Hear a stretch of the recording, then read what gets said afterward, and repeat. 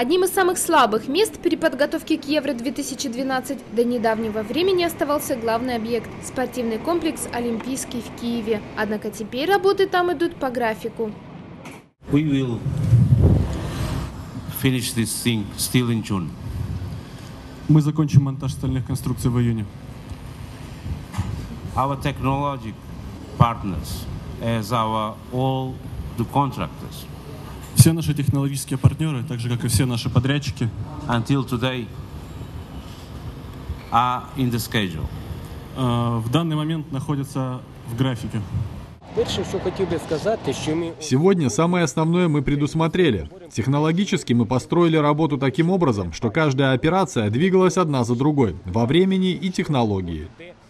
Финансирование осуществляется в полном объеме, и неожиданные проблемы могут возникнуть только в случае изменения погодных условий.